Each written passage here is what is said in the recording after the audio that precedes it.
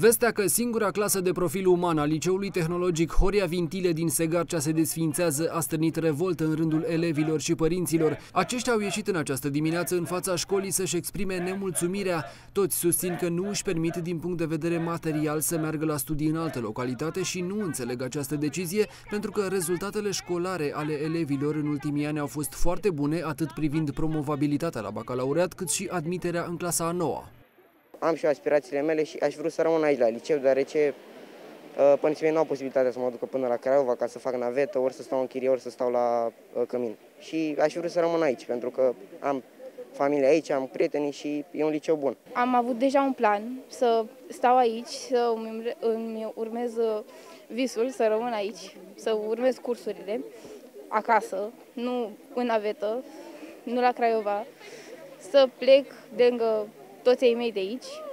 O să-mi fie foarte greu dacă voi pleca de aici.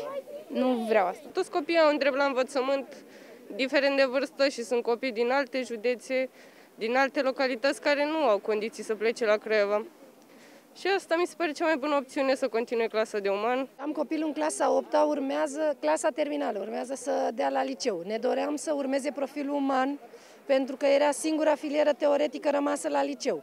Îmi doresc un viitor mai bun, clar pentru copilul meu, nu agricultură. Și de aici putem să fim oameni. De ce ne ia posibilitatea copiilor să nu stea în sânul familiei? Pentru ce? Ca să consumi un ban în plus, având liceu în Segarcea și fiind de atâția ani, atâtea generații au terminat în acest liceu. Elevii și părinții sunt susținuți de cadrele didactice. Am avut și clasă de real și ne-a fost luată cu promisiunea mincinoasă, evident, că ni se va da înapoi, iar acum ne-au luat și clasa de uman. Până la urmă, noi ca profesori ne vom rezolva situația, dar este problema copiilor din, din toată zona, de la Drănic, de la Calopăr, de la Valea Stanciului, de la Cerăt, de la Giurgiță. Mi s-a spus același lucru, că nu sunt copii suficienți și că vom desfința clasa de uman. Eu cred că se vede inspectoratul școlar, uh, Consiliul de Administrație al Inspectoratului, pentru că ei au luat decizia acestor tăieri de clase. Eu cred că se vede cu ochiul liber că sunt copii suficienți, chiar și pentru două clase. Este un lucru foarte grav pentru că, în primul rând, uh, nu li se mai garantează dreptul la educație copiilor. Nu putem forța copiii să meargă la liceu tehnologic. Gândiți-vă că sunt fete. Nu pot să meargă fetele la liceu tehnologic să învețe despre motoarele tractoarelor sau altceva. Deci este foarte greu. Este o situație grea pentru învățământul școlar uh, din orașul Segarcea. În mijlocul elevilor și părinților a venit și directorul unității școlare, însă numai pentru a expune situația cu care se confruntă, nu și cu soluții.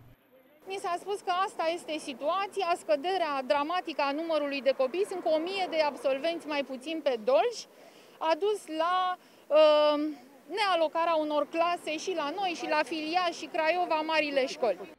Însoțiți de o parte dintre dascăli, câțiva părinți și elevi au mers la Inspectoratul Școlar Județean Dolj pentru a cere explicații. După mai bine de o oră, întâlnire la care au participat conducerea Inspectoratului și reprezentanței sindicatelor din învățământ, nu s-a ajuns la niciun consens, doar promisiunea că va fi reanalizată situația tuturor unităților din județ.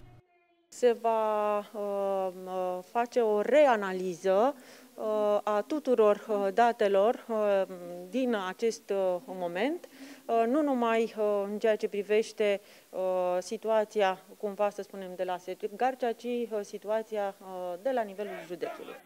În anul școlar următor, în Dolj, vor fi cu 1213 elevi mai puțini în clasa a noua. Părinții elevilor de la Liceul Tehnologic Horia Vintile din Segarcea sunt hotărâți să protesteze în fața Ministerului Educației în cazul în care nu se renunță la această decizie.